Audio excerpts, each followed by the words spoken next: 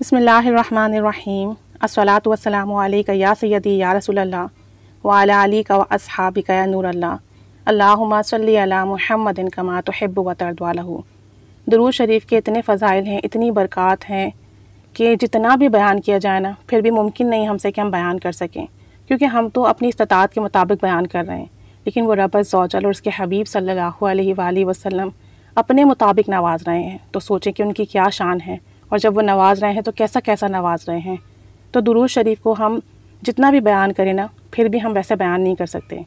बहुत सारे लोग हैं, अहबाब हैं, जो अक्सर कॉन्टैक्ट करते हैं और परेशान होते हैं कि फ़ितनों का दौर है और दज्जाली फितना भी करीब आने वाला है। तो हम इन तमाम फितनों से कैसे बचें? ऐसा कौन सा अमल करें कि हम इनसे महफूज रहें या हमारी आने वाली नस्लें न जाने, उन्हें क्या क्या चीज़ें फ़ेस करनी पड़ेंगी तो वो किस तरीके से महफूज रहें? देखिए, इन तमाम चीज़ों के लिए हमारे पास बेहतरीन हल दुरू शरीफ है। क्योंकि हम दुरूद शरीफ पढ़ते हैं तो दुरूद पाक पढ़ने की बरकत से गुनाहों से बचते हैं। नेकियों की तरफ़ दिल रागिब होता है और ख़ुद ब खुद बुरी चीज़ों से, बुरी आदतों से हमें निजात मिलती है और शर से हमारी हिफाजत होती है। इसी तरीके से लास्ट ईयर रमज़ान में अल्लाह के हुक्म से, अल्लाह के करम से मुझे एक ख्वाब दिखा था। सत्ताईसवीं शब को जब मैं इबादत करके सोई तो मैंने तब वो ख्वाब देखा कि मैं किसी एक ऐसी जगह चली जाती हूँ, जहाँ पर बड़ी अजीब सी गहमा गहमी होती है। मतलब मैं ट्रैवल करती हूँ बस के थ्रू और मुझे गलत जगह उतार दिया जाता है। और मैं कहती हूँ कि मुझे तो यहाँ नहीं आना था। लेकिन अब चूँकि मैं वहाँ उतर गई होती हूँ तो फिर मैं वहाँ रास्ता तलाश करती हूँ कि मैं यहाँ से बाहर कैसे निकलूँ। तो एक पहले एक गली में मैं एंटर होती हूँ, वहाँ बहुत अंधेरा होता है। वहाँ से निकल कर दूसरी गली में जाती हूँ। जब उस गली को मैं क्रॉस कर लेती हूँ तो वहाँ एक अजीब सा एरिया होता है। तो मुझे ऐसा लगता है कि मैं किसी बंद जगह पर आ गई हूँ, किसी ऐसी जगह पर आ गई हूँ जहाँ से बाहर निकलने का कोई दरवाज़ा ही नहीं है। अब मैं वहाँ से बाहर निकलने के लिए रास्ता तलाश करती हूँ। और वहाँ पर एक बहुत बड़ा देव होता है, एक बहुत कदावर इंसान तो नहीं था वो। देव कह लें या जिन कह लें कि वो होता है और उसे वहाँ जंजीरों से बांधा हुआ होता है। और जंजीरों से इसलिए बांधा हुआ होता है कि अगर ये आज़ाद हो गया तो बहुत नुकसान पहुँचाएगा। और वहाँ जितने भी लोग होते हैं ना, वो सब भाग रहे होते हैं, उस जगह से निकलना चाह रहे होते हैं, बहुत परेशान होते हैं। और सबके अंदर एक ये खौफ होता है कि अगर ये देव या जिन जो भी है, ये आज़ाद हो गया तो हमें बहुत परेशानी रहा होगी। उस वक्त मैं जब ये सब कुछ देखती हूँ ख्वाब में तो मुझे परेशानी तो नहीं होती, बस मुझे ये होता है कि मुझे इस जगह से निकलना है। और मैं यही सब कुछ सोच रही होती हूँ। उस देव को देखकर बेसिकली मेरे दिमाग में जो बात ख्वाब में डाली जाती है, वो ये होती है कि ये दज्जाली फितना है और अन करीब ये आज़ाद होने वाला है। और बस मेरे जहन में ये बात होती है। और मैं ये सोचती हूँ कि मैं इस जगह से कैसे बाहर निकलूँ। अचानक से मेरे जहन में अल्लाह की तरफ़ से ख्याल आता है कि दरूज शरीफ पढ़ूँ। दरूज शरीफ हर रस्ते का हल है। दरूज शरीफ से ही रास्ता मिलेगा। तो मैं ख्वाब में बिसमीम सल्लल्लाहु अलैहि वसल्लम ये पढ़ना शुरू कर देती हूँ और ये पढ़ कर रास्ता तलाश करने लगती हूँ। थोड़ा बहुत आगे पीछे होती हूँ, आगे जाती हूँ तो मुझे एक सीढ़ियाँ नज़र आती हैं और मेरे दिल में ख्याल डाला जाता है कि इन सीढ़ियों के पीछे यकीनन तुम्हारे बाहर निकलने का रास्ता होगा। इस जगह से आप बाहर निकल जाओगे।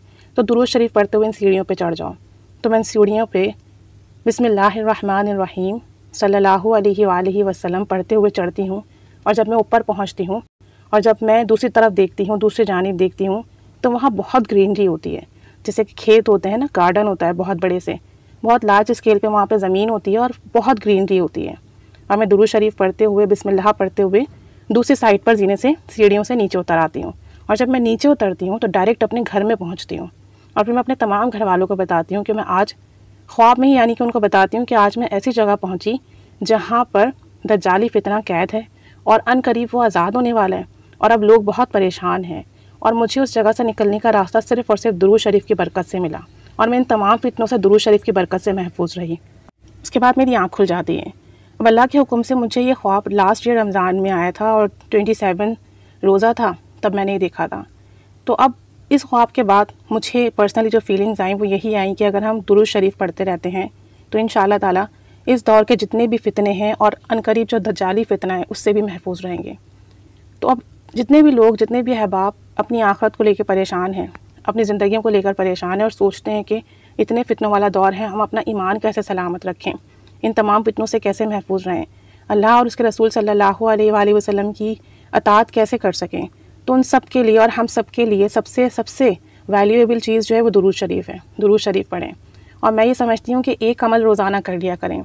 दरूज शरीफ की एक तस्वीर पढ़ कर अल्लाह के पास अमानत के तौर पर रखवाते रहें। किसी भी वक्त दिन में पूरे तवज्जो ध्यान के साथ दुरूद शरीफ की एक तस्वीर पढ़ लें। और जो दुरूद पाक आप पढ़ते हो, वही दुरूद पाक पढ़कर आप अल्लाह के पास अमानत के तौर पर रखवा दें। नहीं तो अगर आप ये दुरूद शरीफ चाहें तो बिसमीम सल्लल्लाहु अलैहि वसल्लम, अस्तगफिरुल्लाह। इस तरीके से एक तस्वीर पढ़ लें। अब इस तरीके से पढ़ने में हमारे पास फ़ायदा ये है कि इसमें बिस्मिल्लाह भी हमने पढ़ी, उसमें अल्लाह के रहमान और रहीम होने का ज़िक्र है और बिस्मिल्लाह की बरकतें हम जानते हैं और जब हम बिस्मिल्लाह पढ़ते हैं तो हम शैतान के शर से महफूज रहते हैं। तो अगर हम बिस्मिल्लाह पढ़ें और फिर सल्लल्लाहु अलैहि वसल्लम पढ़ें, नबी करीम सल्लल्लाहु अलैहि वसल्लम पर दरूद सलाम भेजें तो फिर हमें उसकी रहमत मिलेगी। हम पर बरकत नाजिल होगी, रहमत नाजिल होगी और इस तरीके से हमारे गुनाह मिटेंगे, नेकियों में इजाफ़ा होगा। और फिर अगर हम आखिर में अस्तफ़िरल्लाह ये पढ़ लेते हैं तो हमसे जो भी गुनाह सरजर्द हुए, जो गलतियाँ हुई, जो कोताहियाँ हुई, जिसकी वजह से हमारा दिल परेशान होता है, हम बेसकून होते हैं, अमाल में हमें लज्जत नहीं मिलती, काम हमारे बनते बनते रुक जाते हैं, क्योंकि हम नहीं जानते। ये इतना फितनों का दौर है ना, हम जिन चीज़ों को अक्सर सही भी समझ रहे होते हैं, वो भी शरीयत में, या आप देखें तो कहीं ना कहीं गुनाह के ज़ुमरे में आता है। तो अगर हम इस तरीके से पढ़ लें एक तस्वीर रोज़ाना बिसमीम सल्लल्लाहु अलैहि वसल्लम, अस्तगफिरुल्लाह। ये एक मरतबा हुआ। इसी तरीके से आप सौ मरतबा कर लें। बिसमीम सल्लल्लाहु अलैहि वसल्लम, अस्तगफिरुल्लाह। सौ दफ़ा पढ़कर, एक तस्वीर पढ़कर, इसे अल्लाह जोल के पास अमानतन रखवा दें। पढ़ने के बाद दुआ करें कि अल्लाह, मैं ये तेरे पास अपने लिए अमानता रखवाता हूँ और इसकी बरकत से मुझे हर दौर के, हर फितने से, हर शर से महफूज फरमा। ना सिर्फ़ मुझे, बल्कि मेरी क़यामत तक आने वाली नस्लों को इस अमल की बरकत से महफूज रखवा इस अमल की बरकत से अपने हिफ्समान रख, महफूज रख। हर तरह के शर से दजाली फितने से, हर तरह के फितने से, हर तरह के गुनाह से, हर तरह के बवाल से, हर तरह के अजाब से। और हमें अपनी रहमत अता फरमा, हमें अपनी हिफाजत अता फरमा, हमें अपना हिसार अता फरमा। इस तरीके से दुआ करें और अल्लाह ताला से कहें कि इसका अजर सवाब हमें अपने शायान शान अता फरमा। और हमारा ख़ात्मा इसकी बरकत से ईमान पर फरमा। और जिस वक्त हम मरें, जो हमने तेरे पास अमानतन जितना भी अपना ये तस्बीहात रखवाए हैं तो उस वक्त वो हमें अता फरमा कि हमारा ख़ात्मा ईमान पर बिलखैर हो। दुनिया में भी हमें इसका फैज़ मिले, आखिरत में भी इसका फैज़ मिले। तो एक तस्वीर रोज़ाना इस अमल की कर लें और अल्लाह के पास अमानतन रखवा दें, अपने लिए भी, अपनी क़्यामत तक आने वाली नस्लों के लिए भी। अल्लाह बड़ा गफूर रहीम है। आप उसके पास जितना देते हैं ना, जो भी अमाल देते हैं, वो उससे कहीं गुना ज़्यादा आपको नवाजता है। हम क्या और हमारे अमाल क्या? हमारे अमाल में कितनी कमियाँ, कितनी कोताहियाँ होती हैं, कितनी लग्जिशें होती हैं, लेकिन उसके बावजूद वो रब सौदल हमें अजाब नहीं देता, हमें हमारे बुरे अमाल का रिटर्न नहीं देता, बल्कि वो हमेशा अपनी शायान शान हमें अता ही करता है। रहमतें, बरकतें रिस्क माल, नवाजिशें, अताएँ, सेहत, दुनिया के तमाम हाजात बस वो अता ही करता है, क्योंकि वो बड़ा गफूर रहीम है। तो रोज़ाना एक तस्वीर मेरी आप सबसे रिक्वेस्ट है, एक तस्वीर लाजमी ये पढ़कर अल्लाह के पास रखवाएँ। एक तो ख्वाब के ज़रिए इंडिकेशन भी दी गई कि दुरू शरीफ पढ़ने वाला हर फितने से दजाली फितने से महफूज रहेगा। और दुरू शरीफ के साथ साथ ख्वाब में बिसमिल्लाम रहीम का भी बर्द रहा। तो अगर हम ये कर लें, बिसमिल्लाह दुरू शरीफ और अस्तफ़िरल्लाह तो ये तीन ऐसे जामे और मुकम्मल अमल अल्लाह की बारगाह में हम रोज़ाना भेजते रहेंगे, अपने लिए महफूज करवाते रहेंगे तो फिर इसका जो सवाब हमें दुनिया में भी, दीन में भी, आखरत में भी मिलेगा और हम हर तरह से अल्लाह की पनाह में रहेंगे। तो मेरी आप सबसे रिक्वेस्ट है कि रोज़ाना एक तस्वीर पढ़ लिया करें। और इसे अमानता अल्लाह के पास रखवाना शुरू कर दें। अल्लाह गफुर रहीम अल्लाह ताला हम सबको दजाली फितने से, हर दौर के, हर फितने से, हमारी नस्लों को हर फितने से महफूज रखे। हम सबको कसरत से दरूज शरीफ पढ़ने वाला बनाए और दरूज शरीफ का फैज़ हमारी नस्लों में जारी हो, सारी हो। और हमें ताक़यामत दरूज शरीफ का फैज़ मिले। अल्लाह करीम हमसे हमेशा राज़ी हो।